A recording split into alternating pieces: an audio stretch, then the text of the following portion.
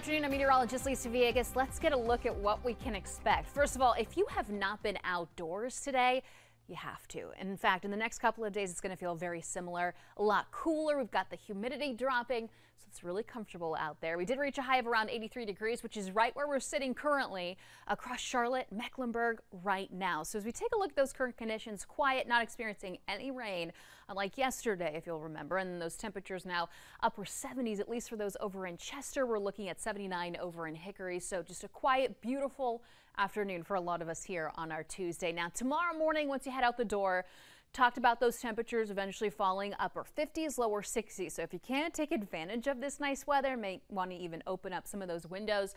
But a refreshing start to the day, humidity continuing to drop. And so by tomorrow afternoon, high temperatures, they are going to peak in the lower 80s as we take a look tomorrow, probably around 3, 4 o'clock, 81 degrees over in Charlotte. We're looking at those low 80s all across the Piedmont area, lower 70s up in the mountains, a little cooler there with those upper 70s over in the foothills. Now, throughout the afternoon, temperatures eventually warming their way into the lower 80s, but the bulk of it in the 70s. So if you want to head over to Carowinds, 12 o'clock, 73 degrees. By 2 o'clock, 77 expected for that temperature. And then by 4, 3, 4 o'clock, lower 80s. So it's going to be really nice. Not only tomorrow, but we're also going to remain quiet here through the week.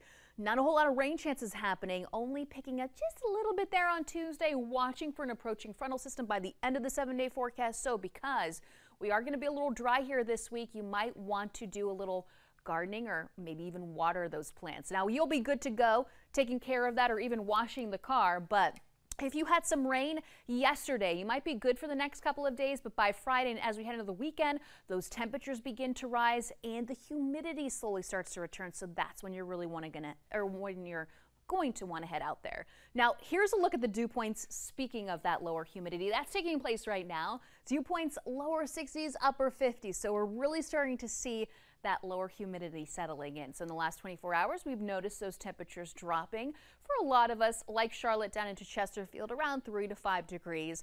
And as we continue to press forward here, by tomorrow morning, dew points in that green color, very pleasant looking at the green there, and then comfortable for those in the yellow, which we're going to continue throughout tomorrow afternoon as those high temperatures peak in the lower 80s. So that is what we're pretty much expecting through Friday, even Saturday, some lower humidity. Now, as we head into Sunday, this is when the temperatures begin to pick up a little bit. Humidity does return, and those lower 90s, they do pop right back up in our forecast Monday and Tuesday. But remember, like we talked about, we are going to remain dry, so that's something to keep in mind that we are going to have to water those plants and overnight lows continue to be comfortable here all week long in the 60s and that is a look what we can expect. Lisa, thank you.